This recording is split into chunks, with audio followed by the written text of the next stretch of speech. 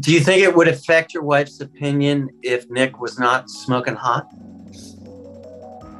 I think He's biased. I think it affects my opinion.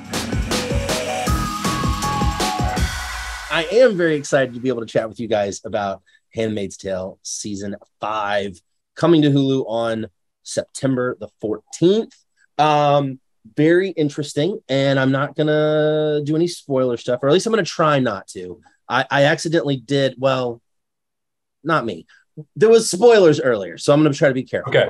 Okay. Um, um, Bradley, I'm curious what what you would say maybe is the uh, the ratio of of Lawrence's motivation being sort of survival to to his code of ethics, if if you will. Like, how much of him is propelled by each of those?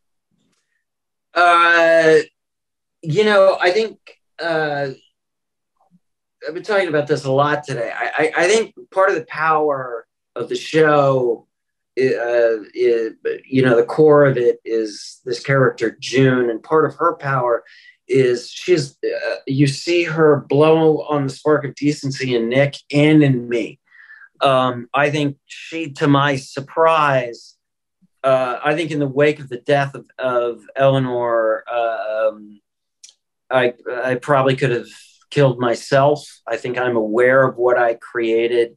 And I think that June has shown me a possible sort of path to redemption. I also think I'm not uh, naive uh, uh, in the way that I see June is about how um, uh, how quickly you can change uh, uh, you know a fascist regime in a world which very much like our own there seems to, democracy seems to be uh, on the wane and white nationalism seems to be on the rise so somewhere in there Yeah, well, that's that is tragically accurate. Um, Yeah.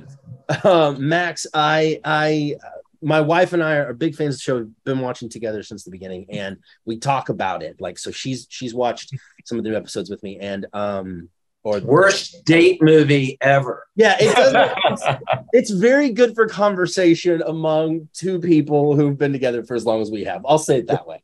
Um, who have evolved the way we have together. Um, I, I, we had a discussion of of what does kind of Nick want, and does Nick want to be free of Gilead, or does he accept who he is, where he is, and he's just going to roll with it and be the best Nick he can be in the bad situation. I, I'm curious what your thoughts are. On I am so much more curious about what you and your wife think.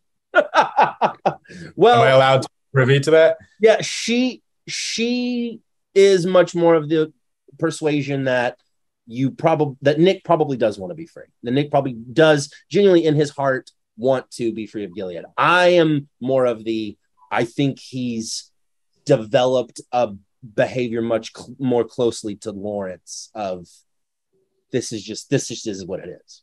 do you think it would affect your wife's opinion if nick was not smoking hot